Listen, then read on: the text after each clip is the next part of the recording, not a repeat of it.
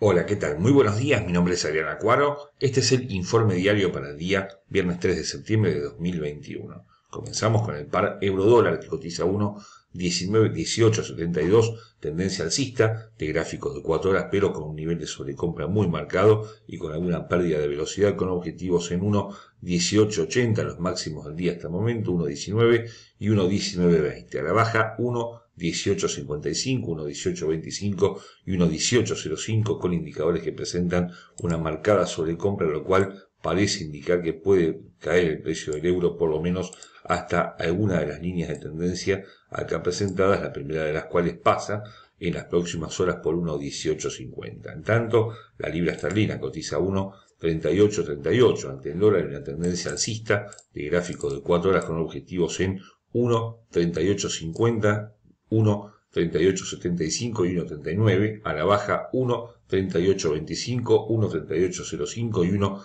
37.80. En el medio aparece esta línea de tendencia, en verdad debajo de estos niveles, en 1, 37.70, con indicadores que presentan señales alcistas en el corto plazo, por ahora sin cambios de tendencia, no está sobrecomprada la libra, en momento sigue acelerando en dirección al alza. En tanto, el dólar yen cotiza a 109.96, tendencia lateral de gráfico de 4 horas con soportes en 109.75, 109.55 y 109.35, lo cual avala con esta línea de tendencia un sesgo alcista del par con objetivos al alza en 110.20, 110.40, 110.60, no obstante, todo esto, mire, desde el día 18 de agosto se mueve muy poco el yen, esto generalmente anticipa movimientos fuertes a futuro. Los indicadores se mantienen neutros en estas horas sin dirección clara para lo que queda del día. En cuanto al dólar canadiense, cotiza 1.2539 en estos momentos,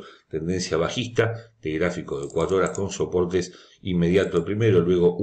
1.2495 y 1.2470, al alza 1.26 y 1.2645, en el medio falta un nivel, ¿eh? acá, ahí está, ¿eh? que nos faltaba colocar en 1.25.75 los indicadores con señales bajistas en todos los casos anticipan ganancias adicionales para el Luni durante las próximas horas formando a su vez un triángulo de continuación de tendencia lo cual justamente anticipa este movimiento. En cuanto al dólar, peso mexicano cotiza 19,95 también con tendencia bajista y también con triángulo de continuación de tendencia más pequeña en verdad en este caso con soportes en las zonas de 19,91, los mínimos de la semana hasta el momento, y 1 y 19,88 al alza, 19,98, 20,02, 20,07 y los indicadores con alguna señal de divergencia típica de los triángulos, pero todavía sin cambios de dirección en el par con algún nivel de sobreventa, pero insisto, con una figura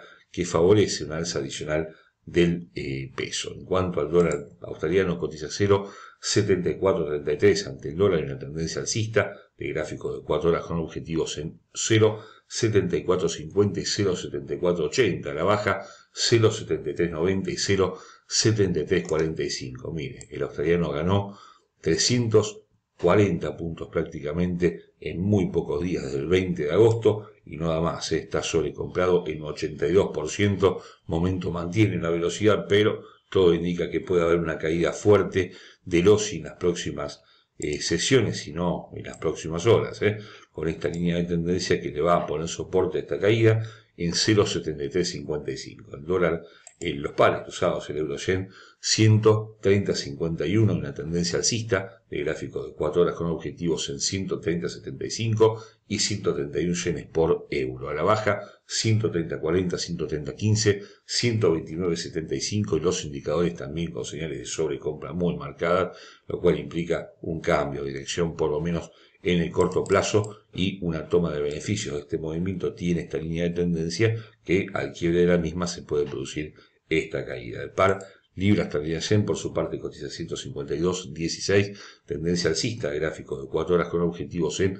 152.45 y 152.80, a la baja 151.95 y 151.30, los indicadores con señales alcistas también en todos los casos, pero a la vez que lo muestra el euro yen, también con sobrecompra y con una pérdida de velocidad que implica probablemente un cambio de dirección pares cruzados, y los pares cruzados no, ya lo vimos. Se habla de las materias primas, el petróleo, hablamos de los futuros de West Texas,